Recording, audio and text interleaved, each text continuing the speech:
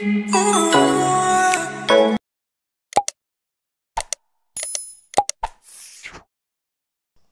वालेकुम व्यूअर्स, कैसे हैं आप सब? लोग उम्मीद करते हैं आप सब खैरियत से होंगे। तो जी, मैं आज आप लोगों के साथ शेयर करने वाली हूँ ये बेड वाला ब्लॉग क्योंकि बच्चों का हम लोगों ने बेड ऑर्डर किया था जब, मेरा रूम जो है वो पूरा अच्छे से कस्टमाइज़ हो गया था। तो अभी जो है, देवर जो है इसको फ़िक्स कर रहे हैं और ये हमने कराची से ऑर्डर किया था। इस तरह से ये अप एंड डाउन कुछ इस तरह से दिखता है और इसका जो कलर है हम अपने फर्नीचर के हिसाब से मैच करवा के डार्क ब्राउन ही चॉकलेट ब्राउन जो कलर होता है, उस तरह का इस पर कलर करवाया है।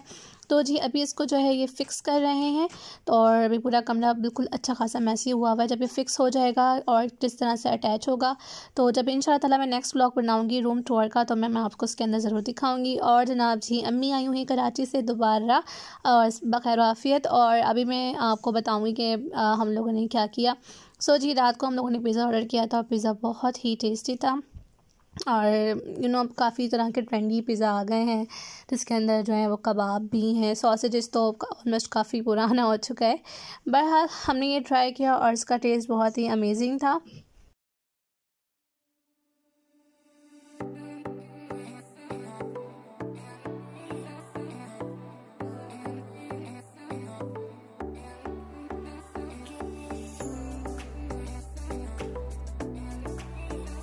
तो जी, मैंने अभी दोबारा से ही टेंट बनाया था और अगर आप लोग को टेंट की रेसिपी चाहिए तो मैं इस लिंक डाल दूँगी। और डिस्क्रिप्शन बॉक्स में आप वहाँ से जाके देख सकते हैं। मेरी सिस्टर ने कहा था कि आप मुझे दोबारा टेंट मतलब बना के भेजना। तो अच्छा ये टेंट जो है ना, इस तरह से ये अतर की जो बॉटल होती है ना, अब मुझे नहीं पता लोग अतर बोलते हैं अतर बोलते हैं, जो भी है वट एवर सो आप इस तरह से इसके अंदर बना के रख सकते हैं कि इसके अंदर ये आराम से जो है हम अप्लाई कर सकते हैं। जो बहुत आराम से रोटेट हो जाती है तो हम इसको आराम से अप्लाई कर देते हैं। तो स्टिकर जो है आप कोई सा भी हो, उसको आप रिमूव कर दो। मेरा हाथ आप देख सकते हैं कि इसके अंदर गंदे हो गए तो अभी इसकी कंसिस्टेंसी कुछ कुछ इस तरह से ही है। बहुत मतलब रनी फॉर्म में है बट ये थोड़ी देर में मतलब खुद ही खुद ही रखे रखे सही हो जाता है। तो मैंने इसको बना के रख दिया है और ये मम्मी के हवाले कर दूँगी। अम्मी फिर उनको दे देंगी, कराची जब वापसी जाएँगी। और जनाब मैंने कुछ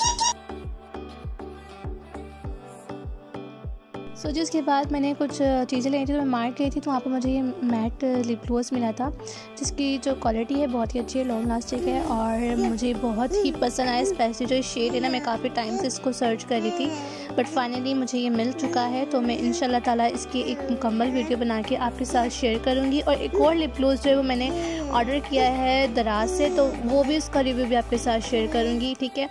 तो वो प्रोडक्ट जो जो चीज़ें मैं आपके साथ शेयर करने जा रही हूँ, वो दैन उसके बाद मैंने लिया थी लक्स का बॉडी वॉश और इसकी स्मेल कुछ डिफरेंट है, लेकिन मैं पहले मैजिक जेल यूज़ करती थी। सॉरी मैजिक स्पेल यूज़ करती थी लक्स का पर्पल में। वो बहुत ही ज़बरदस्त थी। तो मैंने सोचा, चलो यू, ये ट्राई करते हैं तो शायद इसकी स्मेल मुझे अच्छी लगे आफ्टर शावर तो बट मुझे कुछ इतनी ख़ास नहीं लगी, ठीक है? उसके बाद ये एक बॉडी स्प्रे रैंडम सा मैंने वहाँ से उठा लिया था, क्योंकि मेरे पास ऑलमोस्ट जो वो फिनिश हो गया था तो इसकी स्मेल भी बहुत अच्छी है। मेरे हाथों को प्लीज़ इग्नोर कीजिएगा। बहुत मैसी हुए पड़े हैं। क्योंकि टेंट बना रही थी। दैट्स वाई अच्छा उसके बाद मैंने लिया था डलान olive oil sorry olive lotion और यार, इसकी जो स्मेल है ना, वो बहुत ही माइल्ड सी है। और लेकिन ये हाथों में बहुत अच्छा मॉइस्चराइजर देता है। काफ़ी देख कर आपके जो हैंड्स हैं ना, वो सॉफ्ट रहते हैं। बड़ी बात ये मेड इन तुर्की है और ये ओरिजिनल है, ठीक है? टू टू फिफ्टी एम की बॉटल में आपको ये मिल जाएगा। और पम्प वाला है, बहुत इजी है इसको यूज़ करना।